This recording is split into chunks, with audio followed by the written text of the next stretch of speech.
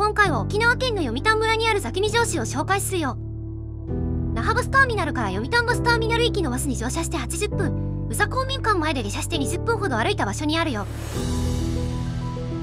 バス停から城までの道程には看板もなく民家やサトウキリ畑の間を抜けていくので本当に定石に到達するのか心配になったわ。こんな道を進んでいて崎見城市があると思えないでしょ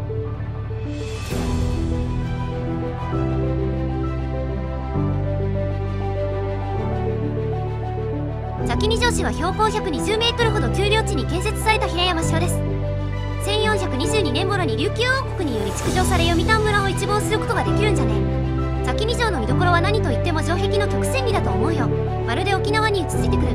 東シナ海の波のようにも見える石垣は二重に形成されてて。石垣の積み方は日本の城郭とは全く異なりどちらかといえば中国の城郭に近いんじゃないか。石垣の厚みにも驚かされ